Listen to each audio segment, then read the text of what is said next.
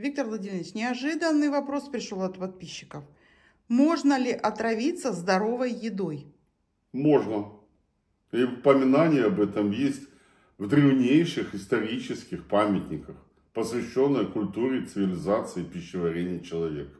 Как быстро снять состояние тяжести после еды, особенно после праздничных перееданий. Как быстро навести порядок в системе пищеварения. Как быстро избавиться от изжоги, от рыжки. Мы с вами поговорим на нашем интенсиве под названием «Мягкий рефлекторный детокс» на котором вы сможете научиться и помогать себе своими собственными руками. А в этом видео я вам раскрою три гастрономических секрета, как нам в этом смогут помочь простые, доступные продукты. Одним из самых ранних, одних из самых ранних упоминаний отравлений здоровой едой вы можете найти в поэме великого слепца Гомера о команде Одиссея и его друзьях которые сиреной отравили не только своими голосами, но и здоровой едой, непривычной для Одиссея и его людей. Потому что очень часто как раз таки здоровая еда для одних людей становится отравой для других людей. Недаром в русском языке есть известный фразеологизм, что русскому здравие, то немцу смерть. Если мы эту тему обыгрываем э, с той точки зрения ландшафтности, климатических воздействий, генетических, наследственных факторов, то это очевидно. По одной простой причине, что мы все зависим от солнышка, а солнышко у нас светит по-разному, и поэтому поведение нашей желчи, нашей печени, нашей селезенки поджелудочной железы ведут себя по-разному. Качество и количество ферментов вырабатывается разное. Но даже там, где мы едим давно, привычно, но праздничные дни много, Бывает такое. И, кстати сказать, очень многие рецепты, сегодня я вам покажу три рецепта, как вы можете самостоятельно избавиться от отравления здоровой едой, то есть от переедания. Своими корнями уходит православную религию, уходят монастыри. И вот как раз таки то, что вы видите перед собой, это использование яиц с, э, с, со специальными э, специями, извините за тавтологию, с приправами, э, использование меда в виде вощины, использование фиников, как раз таки это вот монастырские приемы, когда монахи, они тоже люди, как говорил великий Карл Маркс, ничто человеческое и не, не чуждо было ни Карлу Марксу, ни монахам. Монахи после э, постов, конечно, позволяли себе и для того, чтобы потом из этого позволяли себе выйти относительно благополучно, были разработаны вот несколько приемов.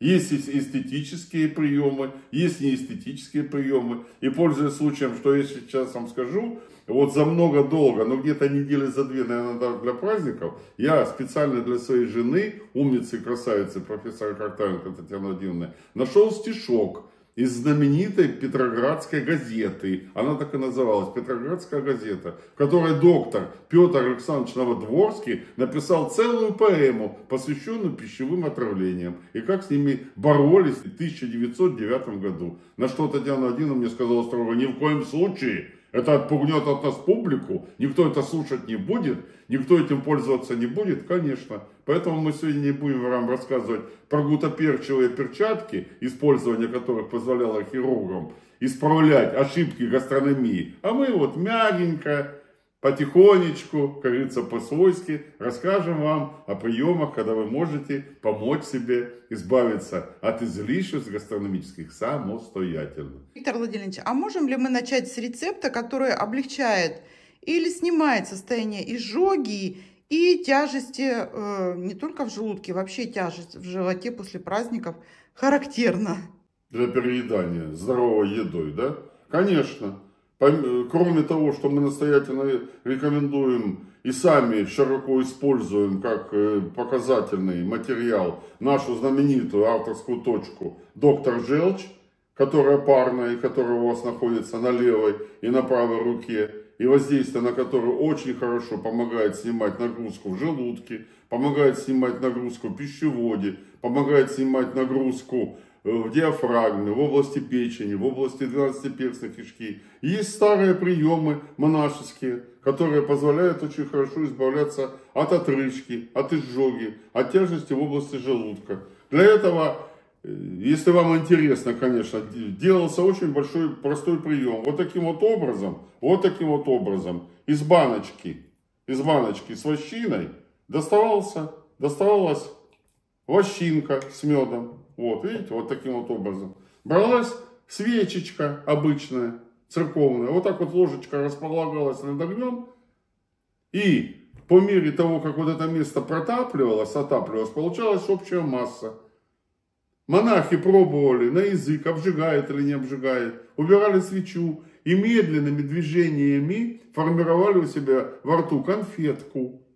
И вот эту конфетку рассасывая, они приводили в порядок свой желудок, они приводили в порядок свой пищевод. По одной простой причине. Как говорил один из великих патолога-анатомов, который мне встречался в жизни, профессор Валерий Моисеевич Бербрайер, дело в том, что перееденный желудок, даже здоровой едой, зачастую является сухим. По сути дела, он сухой, потому что дорожки, по которым скатывается соляная кислота, они обессоляниваются, как он говорил, понимаете?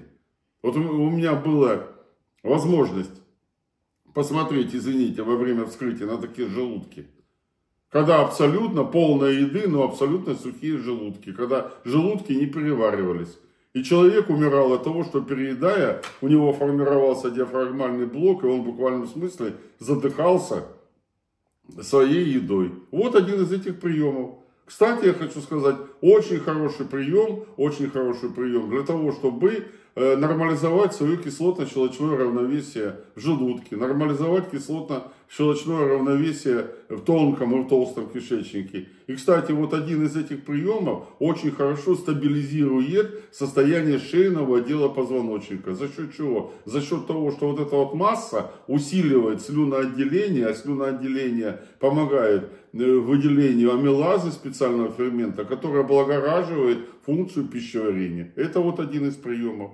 Второй прием, второй прием, это вот поедание, вот если в таком виде, это трех больших фиников, мелко разжевывая. То есть, что такое мелко? Не -не -не -не, вот такими зубочками своими меленькими. Вот эту вот штучку вот так вот снять, вот так вот штучечку снять. Только выбрасывать не надо. Вот эту сладость вот эту сладость взять и мелко, мелко, мелко переживать. Проглотить, запить если говорить о монашеских канонах, запить святой водичкой. А если вы светский человек, просто запить мягкой, нейтральной водопроводной водой. Но я хочу сказать, что вот эта вот штучка, вот эта вот штучка, она гораздо активнее по калию содержанию, чем кожура печеного картофеля. А нам калий очень важен, нам калий очень необходим, особенно в зимнее время. Почему? Потому что наша территория в основном это резко континентальный климат, мы очень активно дышим, и мы при нашем дыхании теряем большое количество углеводородов. А углеводороды всегда сопровождаются снижением э, состояния калия в организме. Почему очень часто э, люди умирают зимою на холодах, на морозах от инфаркта миокарда? Почему людей очень часто беспокоит стенокардия? Потому что не хватает калия. Вот еще один замечательный прием. И плюс к этому, плюс к этому я хочу сказать, вот салфеточку мне не дали, ну ничего страшного. Вот, я хочу сказать, что вот внутри, внутри находится замечательнейшее, замечательнейшее спасение нашего, нашего костного аппарата. Нашего костно-сухожильного аппарата. Это косточки фиников. Ни в коем случае их не выбрасывайте. Их можно в лучшем смысле этого слова обсосать, их в лучшем смысле этого слова надо обсушить. И если у вас есть возможность, сделайте из них муку. И вот эта вот мука, вот эта вот мука, она закладывается под язык по кончику ножа и рассасывается. И вот мука э, финиковых косточек, она очень хорошо укрепляет десна, она очень хорошо укрепляет паращитовидные железы, она очень хорошо укрепляет э, корневую систему зубов. А за счет того, что укрепляется корневая система зубов, естественно, у нас улучшается качество костного материала лица. А чем мы становимся старше, тем с нашим лицом становится больше и больше проблем.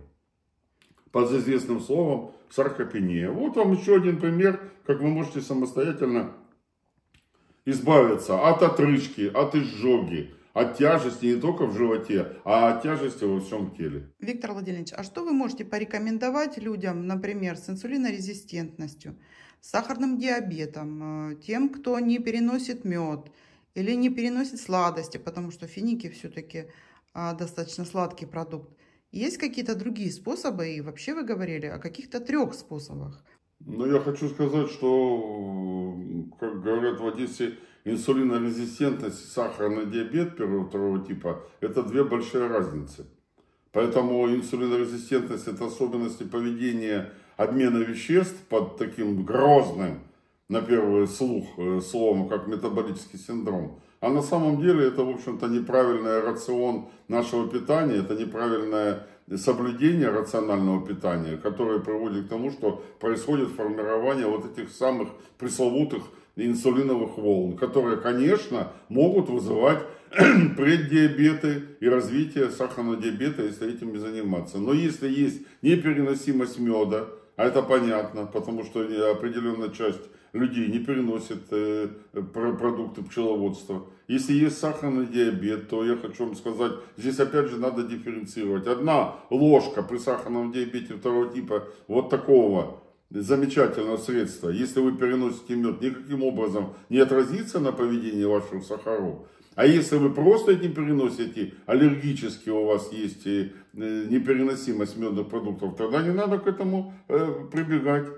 Но есть третий способ замечательный. Но опять же, вы сейчас из-под этого способа найдете еще какие-то массы осложнений. Но будем работать с осложнениями. А третий способ, о котором я хотел рассказать, это знаменитейший, знаменитейший способ, знаменитейший способ, опять же из монастырей, опять же из грузинских православных монастырей, который в свое время, в 30-е годы 20 века, назывался наркомовским рецептом спасения здоровья после переедания. Потом его стали называть министерским способом э, от переедания. А в контексте сегодняшних событий, связанных с яйцами, да, нашей доблестной великой державе. Но я хочу сказать, что очень хорошо попадает, конечно, в той части, что использование сырых яиц очень хорошо помогает э, связывать продукты интоксикации переедания.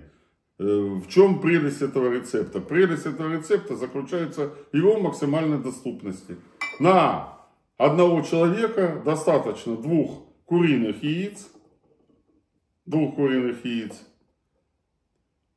кончик ножа, столового ножа аниса, кончик столового ножа э, перца с цедрой лимона и кончик э, столового ножа очень знаменитой приправы грузинской под названием голубой пожитник или отский сунели. Что мы с вами для этого делаем? Мы разбиваем два яйца, мы добавляем кончики аниса, кончики ножа э, столового аниса, кончик столового ножа перца с цедрой лимона и кончик ножа от сунели. Все это очень тщательно разводим, разводим, разводим, разводим. А потом все это мелкими глоточками выпиваем и нам становится очень хорошо.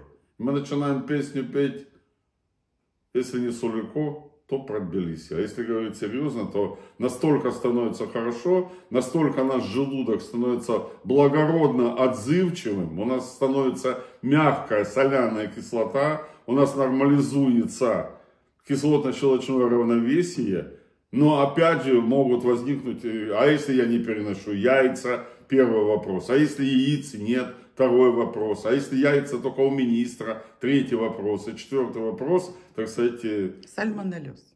Еще. Опять же, да. Опять же пресловутый сальмонеллез, да. А можем ли мы использовать, например, перепелиные яйца? Можем, можем. Очень хорошо. Очень хорошо перепелиные яйца мы используем. И сразу хочу вам ответить о конверсии. О конверсии или о соответствии. Или как это называется? Валютных операциях. Одно куриное яйцо – это 5-6 перепелиных яиц. Пожалуйста, на здоровье. Если вы болеете сальмонеллеза, если вы не можете купить куриных яиц, но у вас под руками есть перепелиные яйца, пожалуйста, легко заменяются одно вторым. Я имею в виду, куриные яйца легко заменяются перепелиными на здоровье. Делайте такой рецепт. Но помните, пожалуйста, о том, что какие бы мы рецепты ни использовали, нам все равно необходим инструментарий то по очищению нашей печени. Нам необходим инструментарий по очищению наших желчных пузырей, у кого они, к счастью, остались, а у кого их нету в силу разных причин. Конечно, очень важно понимать о том, что праздничные перегрузки печени и желчевыводящих протоков отражаются на состоянии луковиц 12-перстных кишок отражаются на состоянии фатеровых сосков, отражаются на состоянии селезенки и поджелудочной железы. И как раз таки, если мы еще раз и еще раз возвращаемся к тому, что ничто человеческое нам не чуждо, конечно, помните, пожалуйста, о том, что все застолья лучше всего предварять, лучше всего предварять повышенной минерализацией своей пищеварительной системы. Это очень сложно звучит на первый взгляд, но это очень доступно. Вы знаете, какой самый, один из самых лучших способов не переесть и держать э, свой э, желудок и свой пищевод в порядке, для того, чтобы не было отрычки и изжоги. Не знаете? А я вам сейчас расскажу. Это сок из-под горошка. Хотите из-под нашего отечественного, хотите из не под нашего отечественного. Но помните, пожалуйста, о том, что вот этот сок, который находится горошек, его выливать не нужно. Во-первых, из него делаются шикарнейшие заправки для различных салатов. А во-вторых, его просто налить кружечку и мелкими глоточками за 3-4 часа выпить, это э, очень хорошо отражается на состоянии пищеварения с той точки зрения, что сам по себе вот этот вот бульон горо, э, из-под гороха, вот это вот сироп из-под гороха, как его еще можно назвать? Татьяна Владимировна, подскажите, вы много знаете русских слов, которых я не знаю. Облагораживает, на самом деле улучшает качество кислотно-щелочного равновесия. Потому что горошек в этом смысле, если особенно это он сделан из молодого зеленого горошка, он как бы э, до... Ой, у меня страна идет. Мне, наверное, э, надо выпить чего-нибудь или чего-нибудь съесть в этом смысле. Для того, чтобы не было точки из жюри. А, я возьму точку доктор Желчь и буду рассказывать, продолжать. Вот я себе массирую точку доктор Желчь, для того, чтобы не захлебнуться от э, вкусности разговора и общения с вами. Так вот, вот эти все вещи, вот эти все вещи, ни в коем случае их не выбрасывайте и не выливайте. Не выбрасывайте и не выливайте. Как только это у вас войдет привычку, вы поймете, как это замечательно работает во всех, во всех проявлениях. Ну, вот то, что хотелось в нескольких словах вам, уважаемые друзья, коллеги, рассказать. И пригласить вас на наш большой вебинар, посвященный мягкому рефлекторному очищению печени после праздничного переедания. Ссылка регистрации находится в описании под этим видео и в закрепленном комментарии. Переходите, выполняйте рефлекторное воздействие и приводите состояние пищеварения в норму.